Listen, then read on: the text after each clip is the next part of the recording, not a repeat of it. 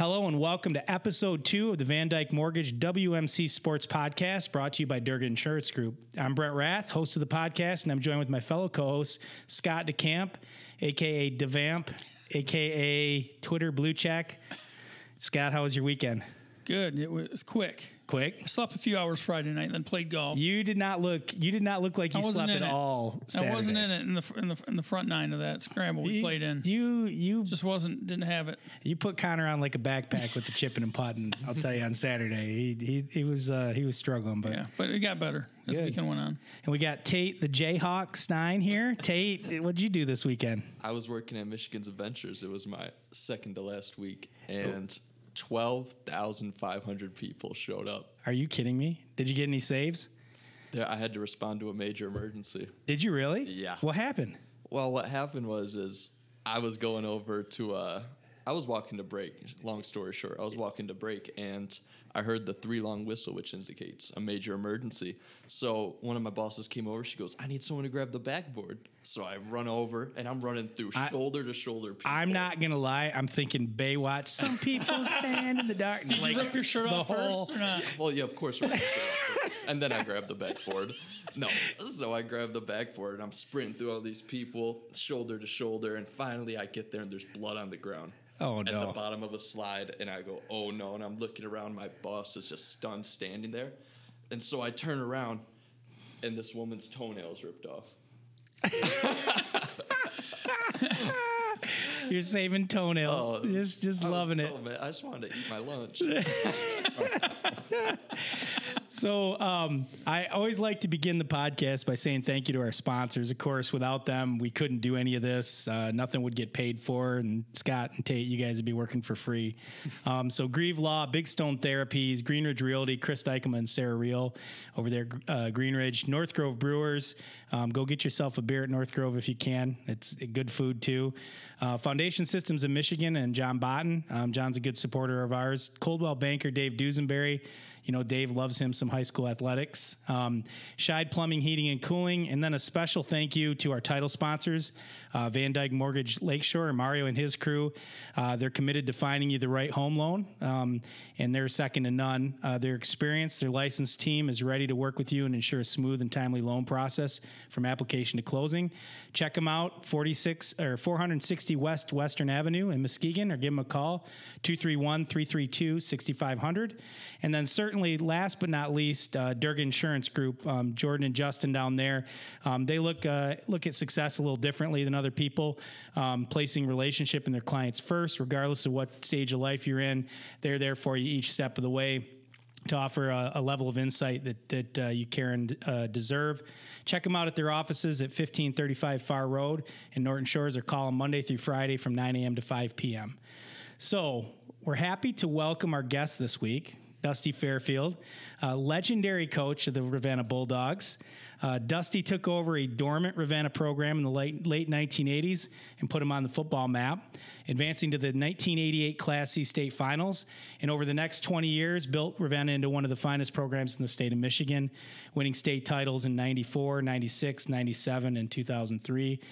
Dusty, I know you because I went to Montague and graduated in '95. So uh, I saw some pretty good Ravenna teams over my time there. So um, it's a pleasure to meet you and uh, welcome to the podcast. Well, thank you, and I appreciate being here. First podcast, right? First, That's I awesome. Say I did everything. We we like rookies.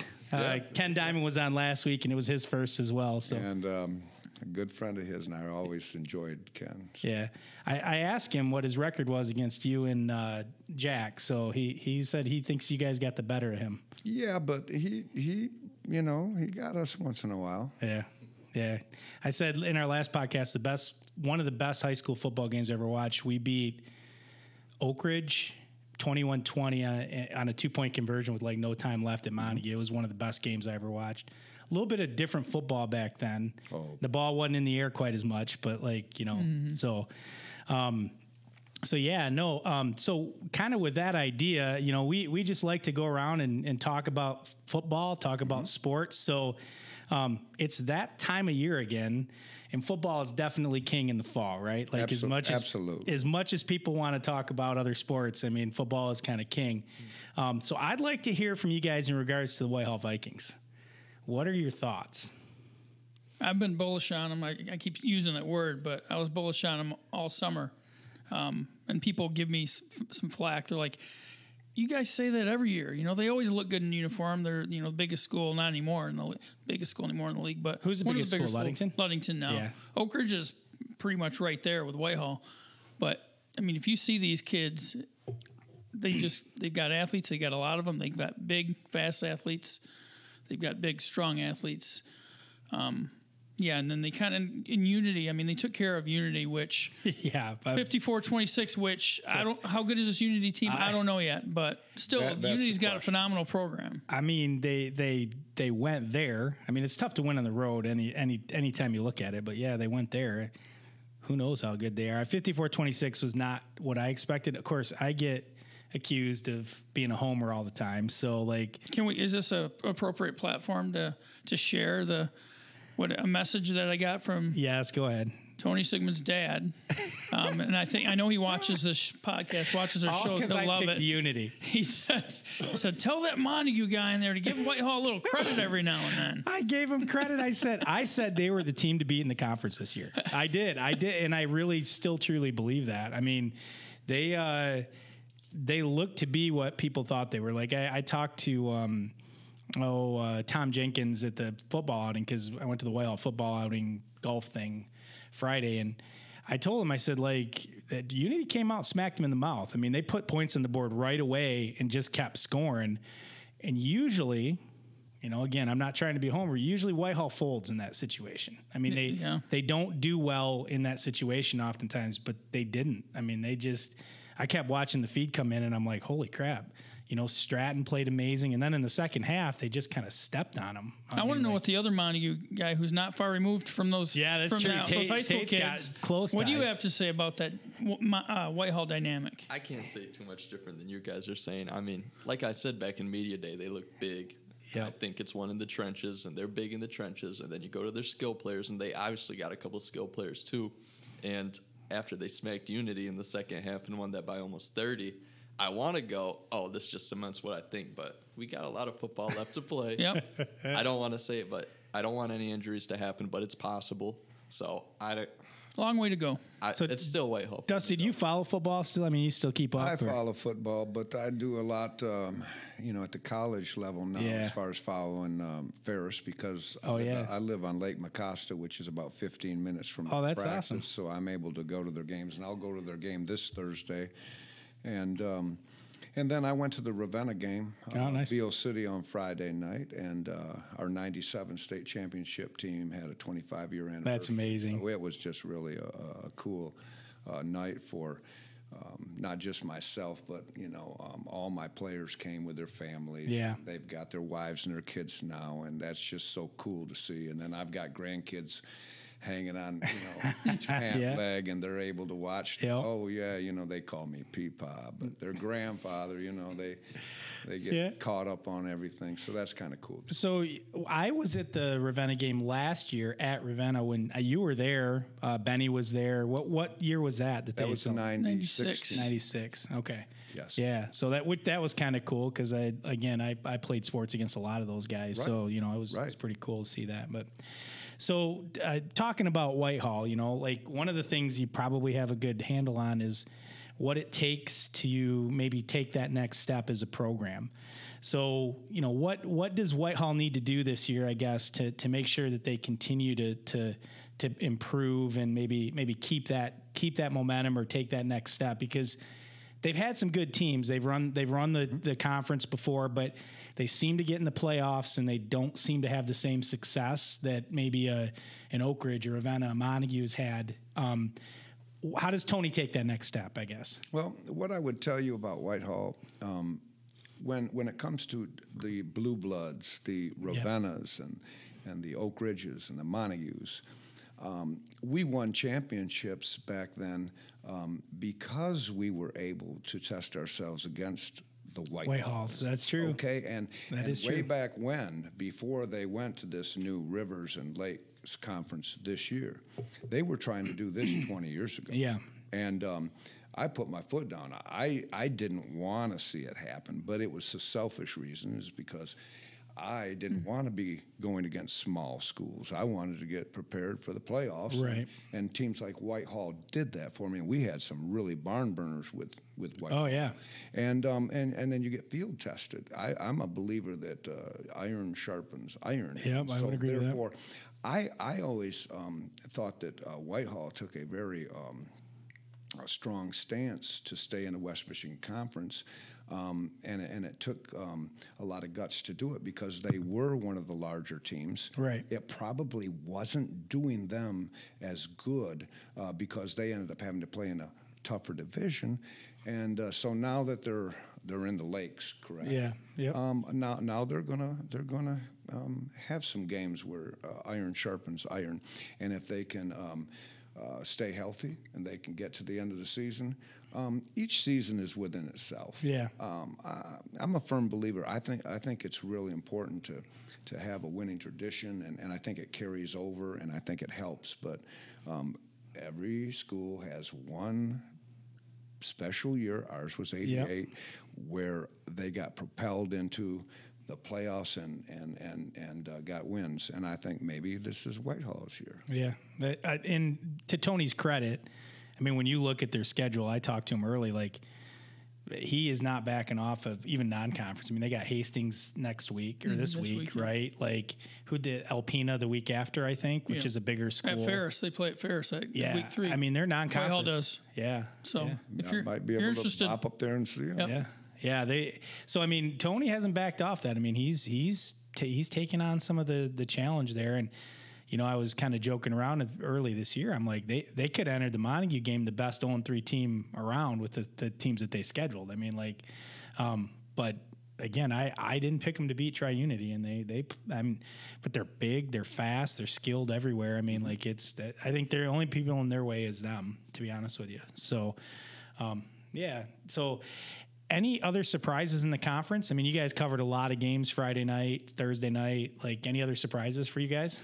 I thought it was a little bit of a surprise to see uh, Muskegon Catholic beat uh, North Muskegon. Yeah. North Yeah, that's a good Muskegon one. has a special team this year. Yep. They throw the ball like 45 times Yep. a game. Um, and, um, and, you know, Steve Zerwans just does a great job Yeah. at Muskegon Catholic, and that is a big win for Steve. Yes. It's a huge win. yeah, and they got and Catholic has Oak Ridge this week at home. So Whew, they're not another- talking about another not big one. backing off. Yeah, I mean, like that's. I mean, Catholics never been afraid to play anybody. Like they'll go, they'll go play. It's another kind of thing, like what you were saying. You know, no, that that surprised me a little bit. I picked North Muskegon. I they've got I did too. They've got some I think talent. I did. They definitely have some talent. I picked them to win the the uh, Rivers division. Yeah, I would. This year, I still they're still my pick to do that. So. Yeah, I, I couldn't believe Ravenna coughed it up at Beal City. To be honest with you, I Yeah. thought like watching the scores come in, I'm like, oh yeah, they got them handled. I was there. I was on the sidelines, and it was it was um, it was really hard to watch the second half. The first half was wonderful. It Yeah. was all positive. It was great. The second half, once kids started cramping up, uh, once Hunter Hogan went out of the game, Yep. uh, it Completely totally changed. changed, the the um, feeling, and the momentum went the other way. And Did they come back in? I mean, or were they just out? um, was he, out? He was out? out pretty much the entire time, and, and he did go in towards the end.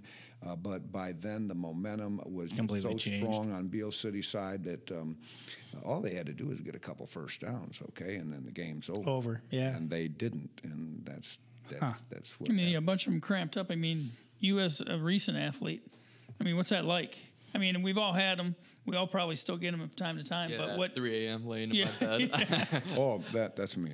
Yeah, yeah. we the left yeah. calf. No, I, I was never one that cramped up for whatever Yeah, me neither. I never had him in an athletic event. Instead, I just tore ligaments. But other people, he just blows his knee out. You you skip right to the good stuff.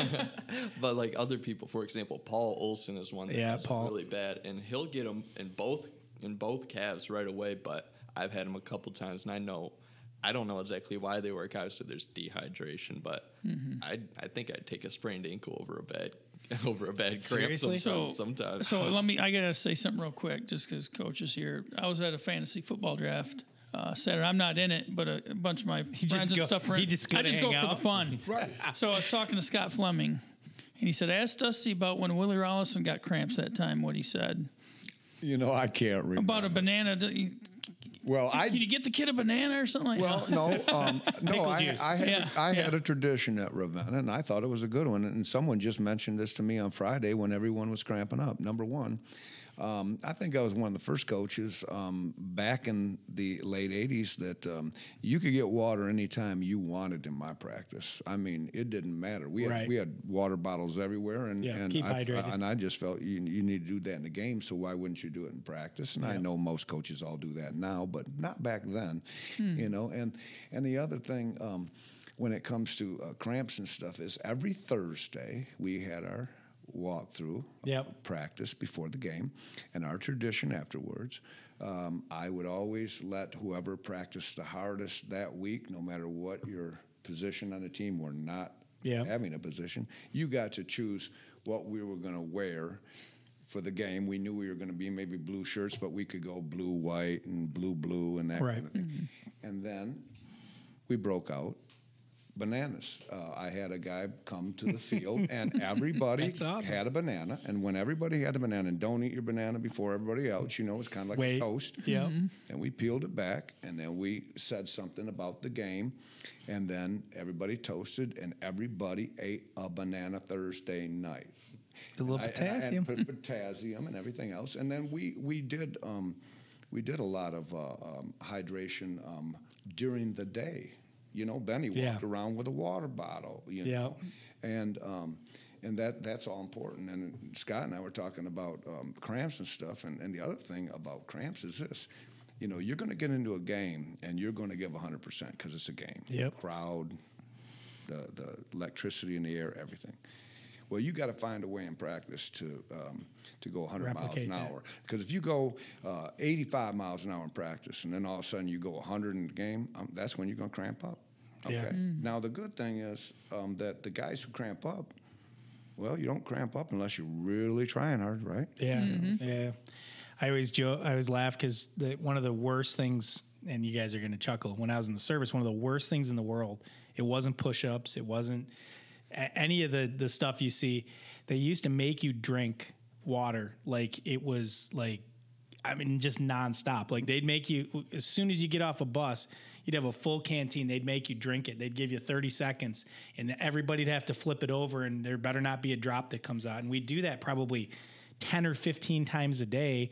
But we're in, you know, uh, Georgia in the middle of the summer, and that's how they kept people from getting heat stroke and falling out and having all kinds of stuff. But yeah, that's that's that's good stuff. I mean, and, and like you said, practicing hard and being ready for that, like that's that's a big deal. Uh, I know that my son plays soccer, and Owen had some cramping problems Friday, I think it was, and took him out. And he's like, I can't move my whole leg, but you know, it never really bothered me. I don't know. So, but um, you know, talking some more footballs or football stuff. I mean, North Muskegon.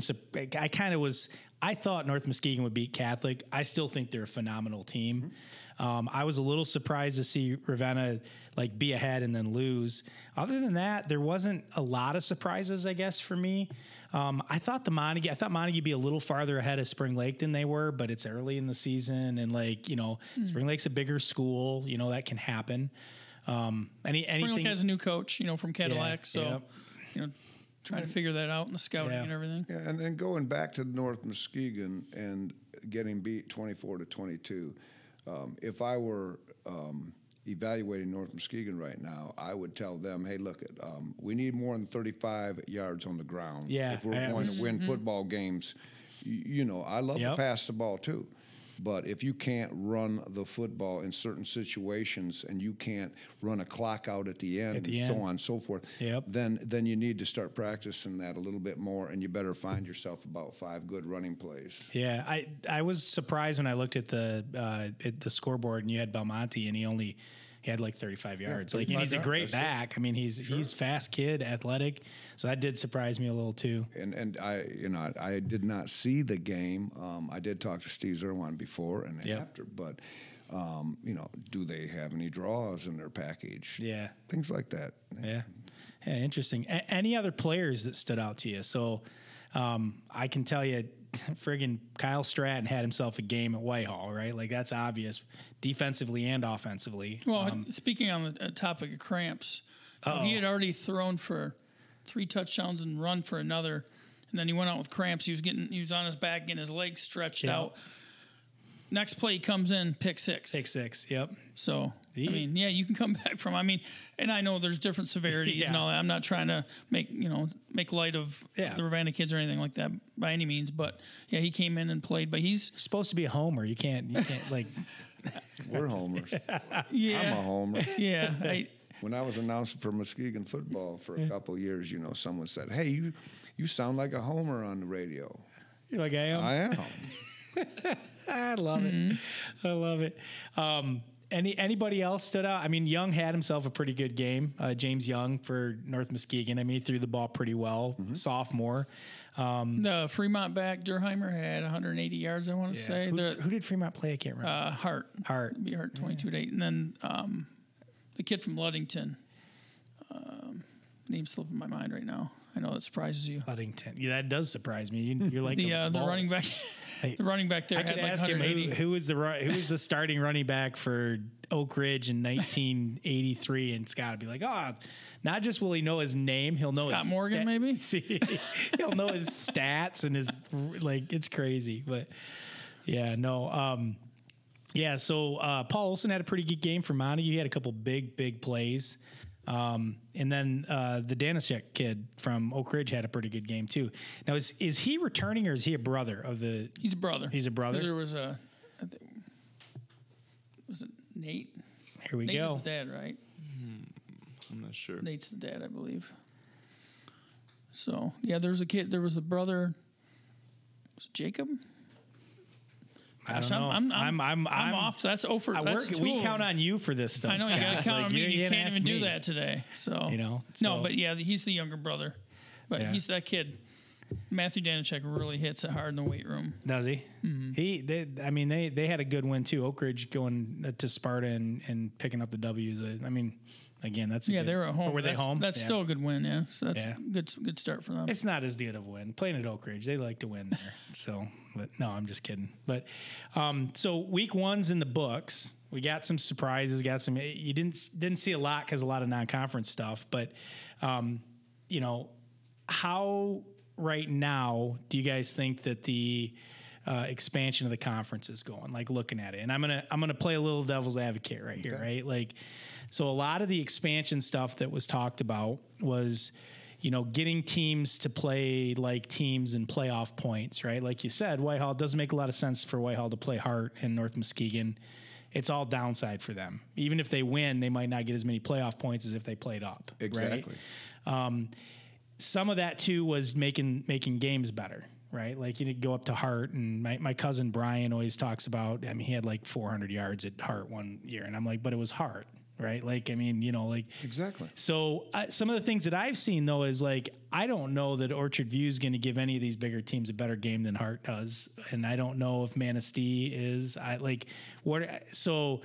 I guess what are your thoughts on that? I mean, is, is are, did we just trade Hart and and Shelby and some of those teams in that upper division for teams that you're going to have still lopsided games?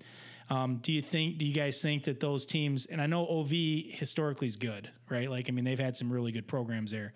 Are, is the conference going to bring their level of play up? Like, what are, what are your thoughts there? I, I think so. I- I, think it will, but I don't think the first year it will. Right, yeah, absolutely. And so I, I think it again. You're you're looking at evolving Yeah. into that. My data set's too small. So right now, no. Is there a big difference between um, a, a Shelby and um, and an OV? No, not right now. But will there be if they, you know, Keep that's playing. what this is all supposed to do, and it does make sense Okay. to do it that way.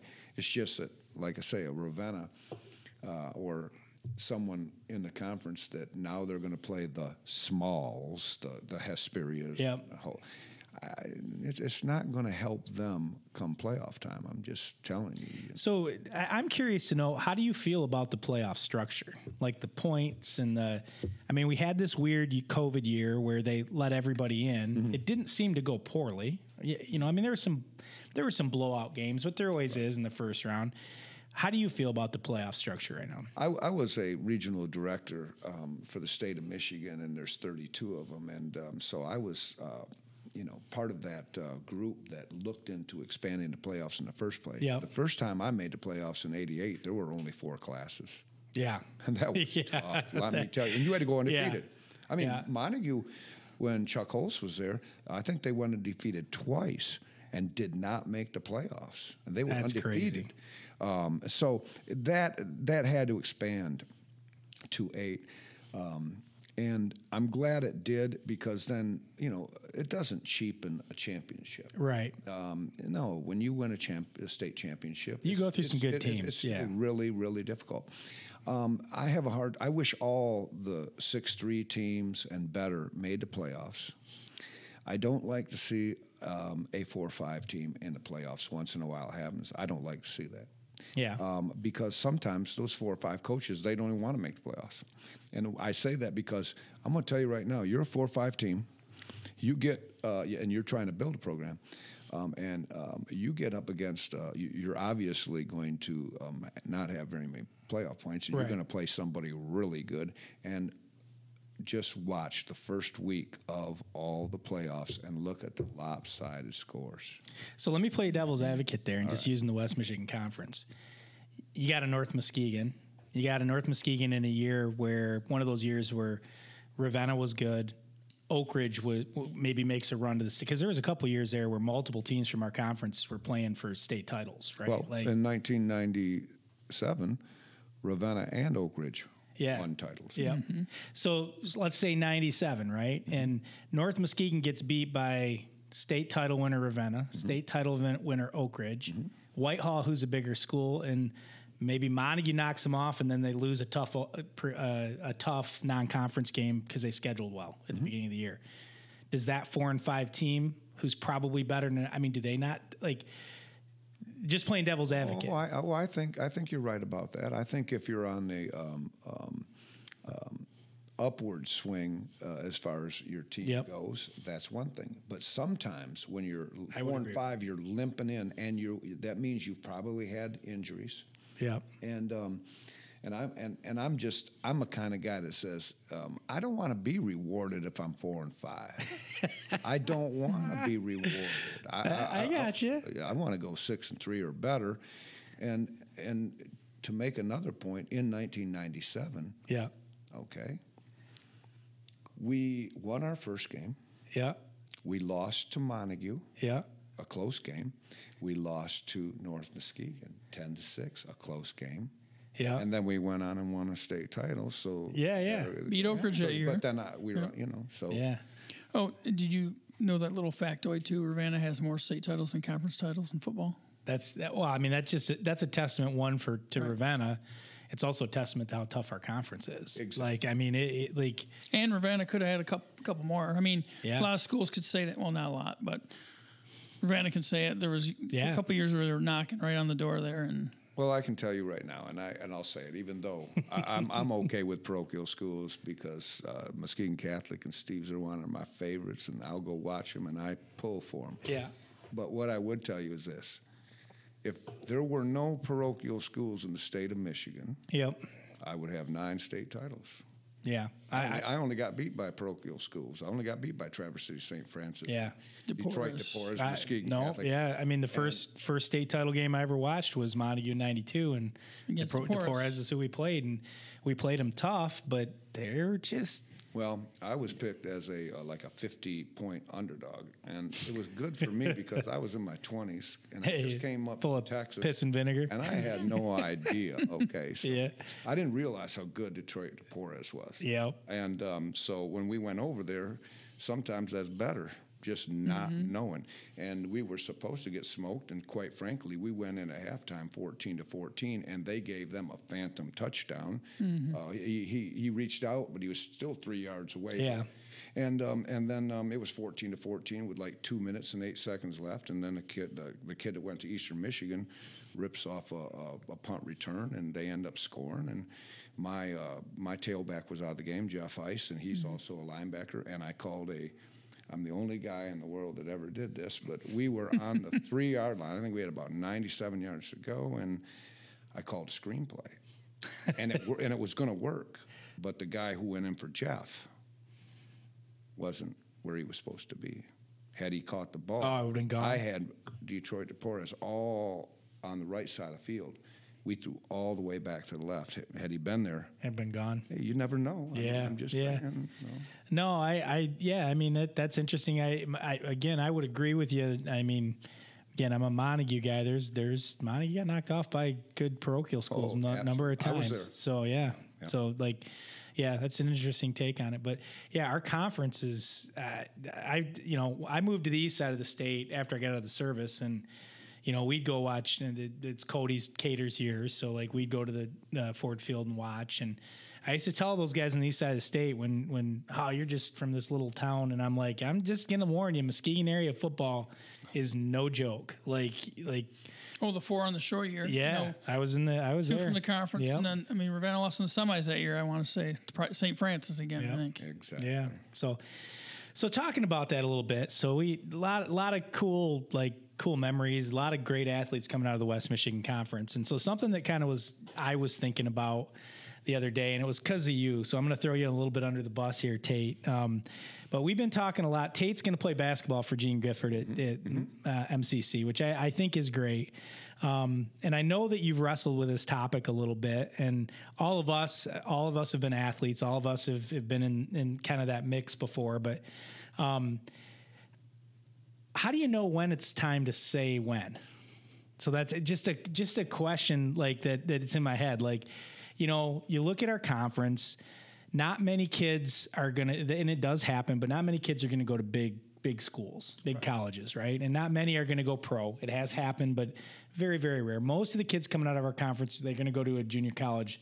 They're going to go to a Division three program. I got no problem with any of those programs, but as a, you know, as a as somebody who runs a business, I look at Tate and I'm like, why not invest in your career?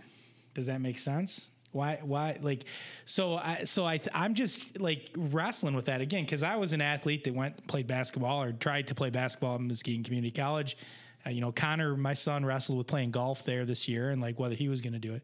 So just something I was thinking about. So I'm interested to hear what you guys think and kind of what went through your head in making that decision, and then what you guys think about that. You go ahead first, and then, then I'll, I'll piggyback that because I had a daughter that went to MCC, and she was a most valuable setter on the volleyball team. And, Really? and I'll, I'll share that with you when you get done. Yeah, I've I've been wrestling with that, and like I'm not wrestling with it anymore because I'm on the team now. I walked on, and so I'm gonna play. But for a solid two to three weeks, I was really wrestling with it because I was thinking about, well, I could work at Catchmark and get mm-hmm. all my work done. No, be for sure. focused and have all my focus here. Obviously, I got school too, but now I got school, Catchmark, and I'm gonna play basketball. So now I'm juggling three balls, but when to stop is definitely the question that I wrestled with because I thought about, am I going to the NBA? And then I thought about, and I go, well, I'm some six foot, I'm some six foot white guy from Montague, Michigan, and I can touch the rim on a good day if I stretch. So I'm probably not going to the NBA. But I also thought about how much what's my my time for how much more can I play competitive basketball? Yeah. And I thought about it and I said, well, I got this year, maybe I play next year, and then what? I'm gonna go play intramural, old man open gym on Sundays. That's There's not nothing wrong with hey, hey, Tate, hey now. Oh I man! did. You, you, you just young guys can't beat us last and, year. and I was going to say something. Oh man! I'm not saying the 45 year old men with three children don't have game. I'm Oh, just man. that was me, man. that was me. He's With talking real to me refs right now. too, by the way. Oh. Jeez. I'm just saying, how much more time am I going to be able to play organized five on five basketball at a high level? Yeah. that's not with old men in a closed gym at Man. 11 a.m. So He had that plan too. Forty-five year old, three kids. I'm- He- first thing that was gonna is, targeted at somebody. Tate, you need to stay close to your mic. You keep cre- creeping back when you're saying that. But um, I do want to say something. The best. That, so I ran the uh, the White Whitehall used to have a really great uh, men's league. Um, Kurt Babcock, when he ran White Community Ed, had, that Community Ed ran this wonderful, wonderful men's league. Really super competitive. Lots of names from the Muskegon area used to play in it in the open. The best team the absolute best team. They would have beat anybody in that team was Kim Griffin, Bob Goslin, a bunch of the Shelby guys, and they're in their 40s. Nobody would have beat that team. I'm telling you right now. I've I've seen them and I've actually played against them Oh, in yeah. the men's oh, league, Oh, and you gosh. are right about that. And I remember Goslin because he gave me a good elbow, that's and that's I never Shelby paid him back for that. you. So if he's watching, you know, man, I'm, I'm I've been working out. yeah, there you go. But yeah, no. So yeah, so I, that makes total sense. And and from my perspective, I, I want you to know, like when I got into the service, I played. I mean, the service is big on athletics, and they have post teams and company teams, and I did everything I possibly could. I played sports I didn't even play. I played volleyball. I played ultimate frisbee. I played basketball. We played soccer, like softball, like all of it. So I get it it's just a good question because two years putting time into here probably I don't know lifelong you might be ahead. I like It's- so it's a tough decision so. Just the competitor in some people. I want to keep competing, and I want to scratch that itch that we've talked mm-hmm. about, especially after getting injured my junior year. And, Yeah, oh, I know, I I, know. always want to say what if, but mm-hmm. and so just just for the record we're completely supporting Tate in all this. He's still gonna work here. He, we're gonna have a spot for him. We're probably gonna complain about him behind his back like man we're gonna go down and watch him and support him but I'd like to hear what you what you think about that Dustin. I, I'll tell you right now, I had a daughter that uh, my youngest daughter, she was a pretty good setter, and um, and you know when she was at Ravenna, they had you know gone to state title games, Yeah. and she was really into it, and so her heart was into it. I like to. Um, uh, tease her sometimes because I tell her all the money that we paid for the summer stuff that you do. Um, I don't think we broke even with the couple of grand that she got uh, for being the setter on the volleyball team, but that's okay too. Yeah. She ended up being your coach, Gene Gifford. He was the AD at the time, and she was his uh, personal secretary. nice Um, you know, they let a student do that uh, Yep. under the guidance of another secretary. And my oldest daughter did it too, so they made a little money in the process. But what I would say about someone that goes to MCC to play, or or even uh, a small school like Hope, you, you don't grow up too fast. You're building relationships. Uh, you know, you're you're playing uh, with other guys who are who are um, competitive guys too, and, and they're going to be successful. And it may even open a door for you in the future, um, depending on, on you know what vocation that you end up. And um, and and I think people try to get it. Everybody's trying to get ahead, right? Yeah. All the time.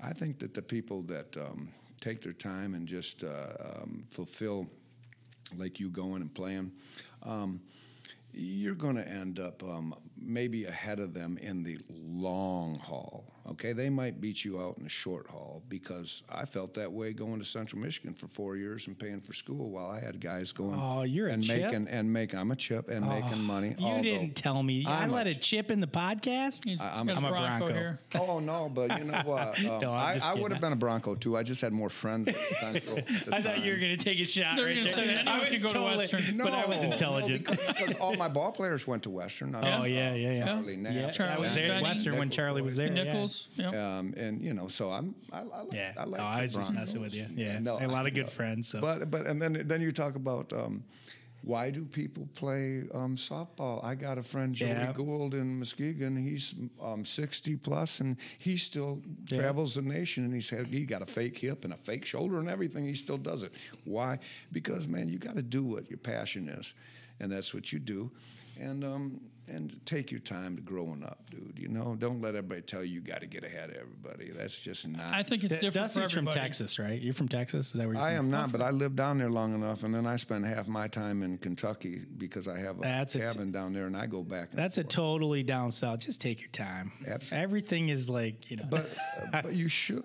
You Life should. is to enjoy, and and you know if you get in a rat race, Yep. you'll you'll find out when you're older. Uh, you know, my biggest lesson in life was going and watching all these older coaches um, um, at their Hall of Fame banquets. right.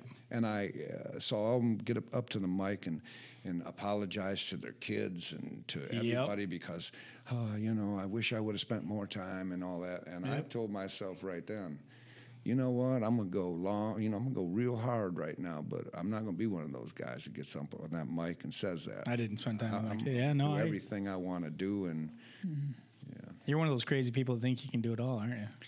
I do do it all. I do. I love it. I, I mean, you know, I just wrote Especially now that he's on a podcast, he's done. oh yeah, we're not gonna be. Yeah, now he's that I've done a podcast. Dusty's just gonna keep showing up here every exclamation week and be like, like My opinion on uh, how how long to continue it. Yeah, I'm it's curious. different for everybody. yeah, I think, and Yeah. um, depends on your situation, depends on your hunger. If you don't have the hunger or the the passion for it, then why are you doing it? yeah. Um, I just, you know, There's a lot of kids that get get to that college level though, and it and it, it is a little different than high school. I think sometimes it's it feels a little bit more like um like a job sometimes. I mean, you you got to put a lot of time into it. I the uh, the girl I dated at Western was on a four year full ride for soccer, and like it was nonstop. She couldn't have a job. She could like I mean, and she was committed. She was a wonderful soccer player, and like, but you couldn't have done anything else. I mean, you had like she was full in, all in on it. Um, and I would say sometimes those teams are, are are not as close as maybe the high school teams you're on. But you know, but Tay, you know, we we want we want you to succeed. I'm I'm. It, this is all just a podcast question, so you play ball as long as you can. All right. Yeah, you do that. Yeah. So and people coming in, into their own at different times in their lives too. that is true. they That is- find different things at different times in is their true. lives. You never know. To your point, Dusty, what what might open, what door might open. Right. Yeah, and I've talked to you a little bit. I'm I'm the exact opposite with my son Connor. I'm like, I think you could play golf at MCC if you wanted to, and he has no interest in it. He's like, I want to go win the club tournament. I want to go like, you know, it's a different sport. You can you can kind of keep doing that, and there's amateur tournaments you can play in, and like, so it's a little bit of a different sport. But yeah. So uh, talking about sports in general, and and uh, Tate, this one might take you a little bit because you're a little young. I mean, you're a youngster, right? Like, um, you know, I feel like sometimes, and I've felt like this more and more as I've eh, maybe as I've gotten older, I've seen my kids come up through high school. You know, um, that athletics in general at, at, eh, are, are not the same as when I was in school. And, wh- and what I mean by that is like I just feel like it's dramatically different than it maybe was in the 80s and 90s. Not the on the field stuff, but just everything else around it. Um, I, the, like I ca and, and maybe I'm weird and maybe maybe they, this happened, but like I don't remember too many Saturday Sunday practices when I was in high school. Once in a while, we'd have a voluntary open gym, or we'd we'd be out. I remember going out and doing things like we would self organize and go play. Like we played every single day, right? Like it was something we were going to play. Um, you know, I don't remember year round competitions. I don't remember year round practices. I don't remember any of that stuff. And kind of going back to what you said, like I was talking to a good friend of mine, Brian, about his son was a pretty good baseball player on the east side of state. And he told, I remember he told Jake, like, hey, what I would pay for you, like I could pay for your college, like, like in what, in the time and the money and the, so my question, I guess, is, how do you guys feel like sports are different maybe at the high school level now than they were maybe in the 80s and 90s and is it good is it bad or what is good what is bad what are your thoughts on that Well, we used to drink out of garden hoses. They drink these fancy sports drinks now. No, but Pre-workouts. In, in all seriousness, though, it's uh, there was a lot of self-organization. Small town like Ravenna, what else were we gonna do? yeah You know, you, you- some of us baled hay and did that, and then then you go play ball or whatever. yeah That's what you do. I, I just remember when we first moved back to Montague, it's like 12 years ago now. Um, when I was a kid, Township Park over in Montague, like if you didn't get over there at 6:45, there'd be 40, 50 people playing basketball. We'd have people coming from Muskegon. We'd have people from all over the place. And I remember driving by, and I'm like, "Where are all the people?" Like it, it was just baffled, uh, you know, like kind of the same thing. Like that's what we did. You'd go, you get out of work, you'd go play ball, then you go out to the lake and swim because you're hot and sweaty, right? And then you come back and play ball till the lights went off. There wasn't the specialization either. There wasn't. yeah, Okay, I'm going to play basketball year round. yeah, You know, you play two, three sports, and I think that helps your skills and helps your competitive competitiveness, and that with anything else, that really sharpens that. I think. yeah. So I'm curious. Like, I mean, you, you've you coached through it, you lived through it, you got your own kids that kind of went through. it. What, what are your thoughts there? I think that um, technology, we always blame technology, and I'm going to blame it again. Um, when I see kids at a park now, they're sitting somewhere and they're looking at their phone. Yeah, Um, I go to functions. you're in a tech company right now. You know that, Yeah, I right? that. I'm just kidding. And- I, I but- agree but, with but, you. But they're always on their phones. It's a distraction. And um, and so that's the number one distraction. But then when you look at how our world has evolved, uh, back in the '90s, you, you know, you didn't see. Um, jet skis all over, and and all the nice, neat things that kids have to play with now uh, compared to the Yeah. old days sort of thing. Um, and then I think that um, you're right about that. Um, in my neighborhood growing up over by Reeths-Puffer, um, the local neighborhood kids, Yeah. we, we organized ourselves. Yeah.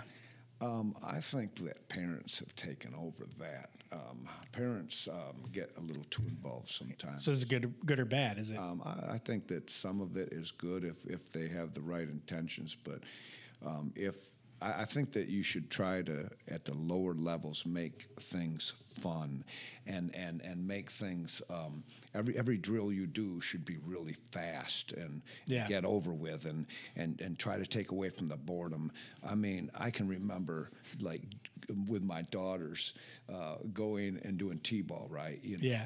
And you go there and you realize that they don't know where first base is. You realize that your shortstop's playing marbles with with stones. Picking grass or you know, and and that yeah, and and and you're looking and you're like, wow, man, this might be a little too young to get them started, which I think it is. I think Yeah. that the dads and the moms should be out catching turtles and frogs and teaching them, you know, taking them camping and doing stuff. Yeah. I think we get them too involved too quick.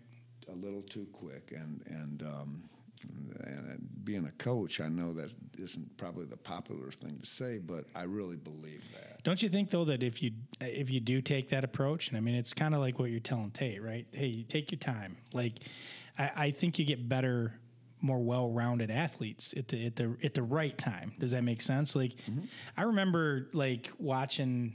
It's like every year, like with basketball or football, they go a little bit earlier. Like, okay, you know, I, I want to say when I was in school, they didn't you didn't start playing football maybe till uh, maybe mini mites were second, third grade, something like that, maybe first, but basketball for sure you never started till third or fourth grade. You just didn't have the hand-eye coordination to do it right? Like they got like four year olds out there like and it's just kind of ridiculous you know like um, but the organization thing i remember my wife coaches varsity soccer at montague and kara was running an open gym indoor open gym for soccer and I went up there one there one. She's like, just come sit, just come hang out. I'm gonna be bored. The kids are just gonna be playing soccer. And we got up there, and they all just the kids all just stood there like they they didn't know how to set up and, and they're waiting for the coach or the adult to come in and they didn't know how to separate into teams and it was it was it was weird i'm like like split up you know shoot free throw i like i don't know how you do like d- but y- you know what i mean I, it's kind of different so Tate, I- mean you didn't live it but uh, i mean do you see any of that you're you know i know your how your dad is and uh, you had older brothers and sisters so No, But- like Scott was talking about all these fancy sport drinks. I didn't like when I was growing up. I was drinking out of the hose, and Yeah. my neighbor kids were coming over. The Davises, the Slamkowskis came over. Yep. We played football in the yard. But nowadays, it's crazy. I'll I'll go on. I'll look at Instagram on my phone, and I'll see this nine year old doing moves that I can't even do Right. in basketball, and I'm just watching this amazed. And this kid, he doesn't even know his multiplication tables, and, And he's he's- he's crossing over kids his age, and he's shooting from 20 feet out, and it's just amazing how much time and effort parents are willing to push their kids into for sports, whether it's travel or for their school, and it's just I didn't see that as much, like even from when I was growing up. Not saying that I'm not. Not saying Yeah. that I'm done growing up, but to now with kids that are younger than I'll- me, I'll- it's I'll amazing. flip-flop with you in a I'm, second. I'm, I'm not want. saying I am. but no, the specialization that Scott was referring to and how much time is spent on a sport when it's like, do these kids even play outside anymore? Do they even have Yeah. time to be a kid? It's Yeah. amazing. Yeah, I mean, I remember some coming. Uh, you know, my one of my partners in Catchmark is Chris Dawson. He's my best friend in high school, right? Like I remember thinking all day on Friday I couldn't get w- to wait to get out of the school because we were going to go play basketball at his house afterwards. We had uh all the kids in the neighborhood. He had a little tiny front yard over on Sheridan, and we had that sucker like.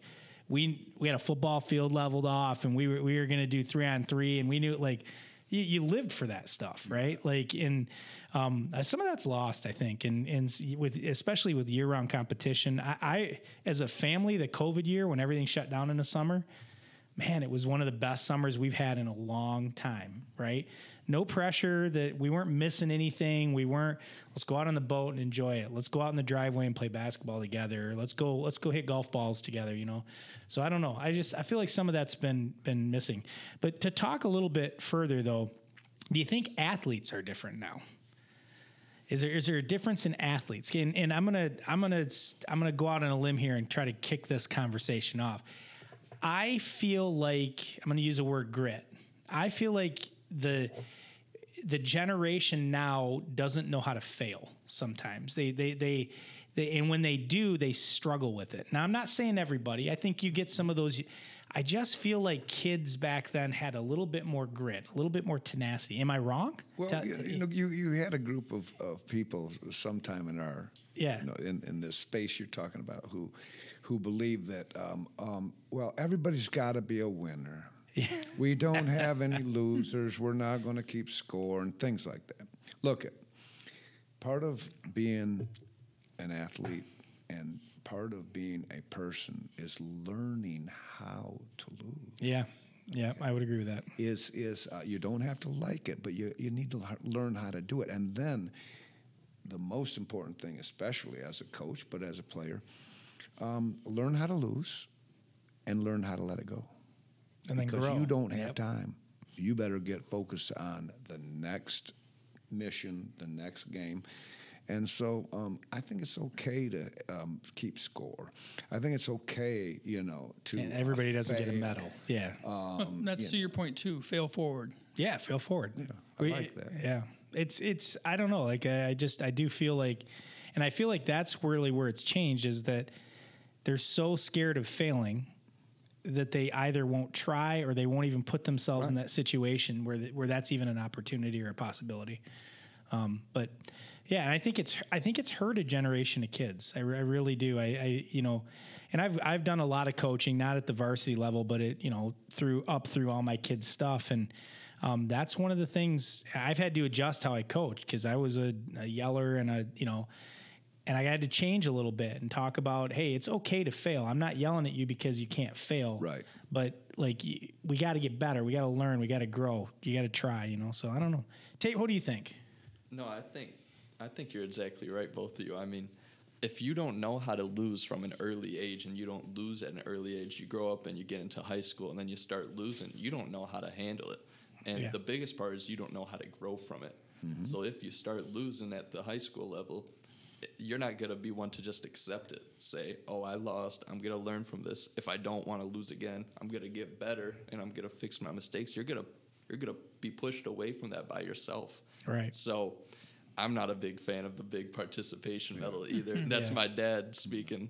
Yeah, well, He- Jeffrey. He raised me that way. So Yeah. Right. Yeah. my mom and my dad. Good for him They raised and me that way. So I feel the same way. that Scott, how do you do. feel?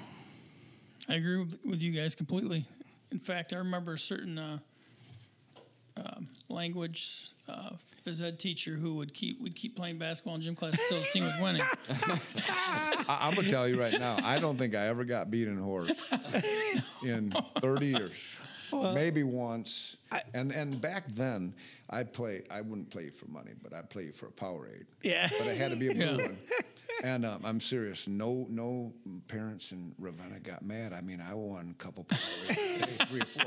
And and one time, I'm, I'm sitting at the lunch room because I ate with the kids in the lunchroom, and a mother walks in. She walks up and she puts that down, and she goes, "Can you just let him win once?" well, I was I when when Ken was in here, and I didn't go into great detail, but uh, Ken taught PE too. And I was in his advanced PE class, and like, man, like I was talking about playing him in ping pong and pickleball and badminton, and like, I'm telling you right now, Ken Diamond was not gonna let one of his kids. You were not gonna win. He he. I told you guys, he came in in badminton one day. And I, I, I was competing in badminton, and he came in and he had this graphite badminton paddle or racket, and I'm like, "What is that?" And he's pulling it out of the. He, I'm, he's like, "You're not winning today," you know, and I'm like, "Man." So I think that's good. I like. I got to um, tell you a quick story about my dad, though. So he would come home, and I'd be in the driveway, Yeah, I, I grew up three blocks from Reeths-Puffer. Yeah. I'd be in the driveway shooting baskets, and either by myself or with my buddies. By the way, basketball is my favorite sport. That's a good um, sport. And I'm and I'm shooting baskets, and my dad would roll up. You know, he was a factory guy, and he'd roll up and he'd say, "What'd you do today? Cut the grass? No. well, what'd you do? Um, I, shot some baskets. I, went through the football a little bit. You know, took a couple swings. You say, "Well, you're not gonna get." paid for that, you know. Um, you, you, know, and he, he would always be telling me, I'm not going to get paid. So Yep. now we're in the playoffs, and I've already won a couple state titles, and and my dad has to uh, come to the school to get a playoff ticket that I had for him in the office. But he stopped by the gym, and he walks in, and I've probably got about 40 kids in there, and it's right in between class, so everybody's shooting baskets, right? And I go, because I had complete control of my classes, as Scott would too. And I believe it. and I said, hey. And they all stop and they got a hold of basketball. You can't dribble when I'm talking. You know? Yep. And I said, this is my dad right here. I said, tell him what I do for a living. And they all at the same time went, shoots baskets. it was the best moment my dad, you know, you I think, you know, he had to walk out of there before he started crying. Cause, yeah, Yeah. they live in shooting baskets, man. Yeah, I you know I got a funny, very similar story, not not about shooting baskets, but my, my dad was an excellent golfer, and he, I- he wanted me to be a golfer. Man, that was in the worst way. And I, I always played. I was a good athlete. I'd pick up a golf club, you know, the day before golf practice in the fall. He never let me play football, like not until my freshman year in high school. He's like, it's too rough. You're gonna get hurt. in freshman year in high school, he's like, you can play football. And I'm like, man, I'm so far behind a lot of these other kids. But he, so I'd always play golf in the fall, right? Like, and, uh, he, so I never really like enjoyed it like he did though. Like I just played because I was an athlete and I, I could swing a golf club and I was waiting for basketball to start because I was the sport. I, I love basketball. It didn't love me back very much, but I loved it. It was, it was wonderful. So I played for years. I mean, years and years and years and never be, he never ever let me win in golf. and I'm talking like he would pull shots out like I, I had him beat in a club tournament one year. He he he holed one from 200 yards for an eagle to close me, and I'm like, I finally beat him. I was 30 years old. I finally beat him. And this is my dad to a T. Walking off the golf course, he says, I said, I said, what'd you end up with? He's like, 81. I said, I shot 79 today. He didn't talk to me. He walked over to the van. He opened the door, shut it, locked the door, and rolled the window up. And he's like, "You had to have cheated." And I'm like, "I didn't." He, the old man accused me of cheating, and I said, "You're kidding me right now." But yeah, I mean, like that's that's kind of you know. And of course, later he's like, "Hey, good round, Brent." Like you know. that's- Fast forward but- all these years later, and I see you doing the same thing with Oh, Connor. Connor. Yeah, he, has, he he has got me though. He got me early. Like he got me real early. I was a bad round, but uh, no. But like that, that stuff, I think like you know, I, I think being, I think that grit comes from you know. Probably some of that with the, the reason you were successful in what you did is because you know your dad gave you that little like, you know, you Oh, can't make money playing about sports. It. No doubt you know, about it. You know, my dad was uh, one of the better football players to ever play at Muskegon High School. Yeah. You know, I mean, he was the star running back when Earl Morrall was a quarterback. Oh, wow. And they won the state title that year in That's amazing. football and in uh, basketball base- or baseball. Baseball. Okay. And they still did really well in basketball, and they had a great team. But- Yeah. So I grew up listening to the Earl Morrall stories, and I knew pretty much everybody on my dad's team because that's what he talked about. Yeah, that's funny. That's funny. Well, you know what, guys? Uh, we're right about an hour now, um, and uh, Billy will kill us if we go over to an hour and forty minutes like we usually do. So, um, any last thoughts on on uh, sports in general, football, podcast? Dusty, you got anything? Any words of wisdom for us before? Well, all I can say is I can't wait to see um, the Mona Shores matchup Yeah. this week because Rockford yeah, yeah, yeah. pretty good. Yep. And I can't wait to see what Muskegon does going down to De La Salle. Oh, yeah. Oh man, uh, They must- I, I, uh, the, this is going to tell us a lot. Did Muskegon lose last week? No, but they were they down won. 14-6 at halftime. Oh, that's Yeah. that's what I And saw. their defense picked it up, but you were, you know, um, De La Salle is oh yeah, they're solid. Division Two. Yeah. so Yeah. We'll find out if Muskegon's really ready yeah. right now. yeah. Yeah. Tate, anything from you? No, I don't. You're not going to come work full time, give up the dream? no, you're the good. dream. It's not the biggest dream ever. It- hey I'm just man, it's a dream. itch. If you're gonna any if you're gonna do anything, do it 100. percent Don't back off it. Go be the best basketball player at MCC you can possibly be. Mm. And you'll learn how to be a good person. Yeah. Gene Gifford He's a good dude. is a good dude. Yeah, Shelby guy. Mm. They grow them good up there. So, well, Dusty, it was a pleasure to have you on the show. Thank Thanks so for much. joining us today. You're invited back anytime you want to be on a podcast. Um, we really appreciate you taking the time to participate. Appreciate um, it.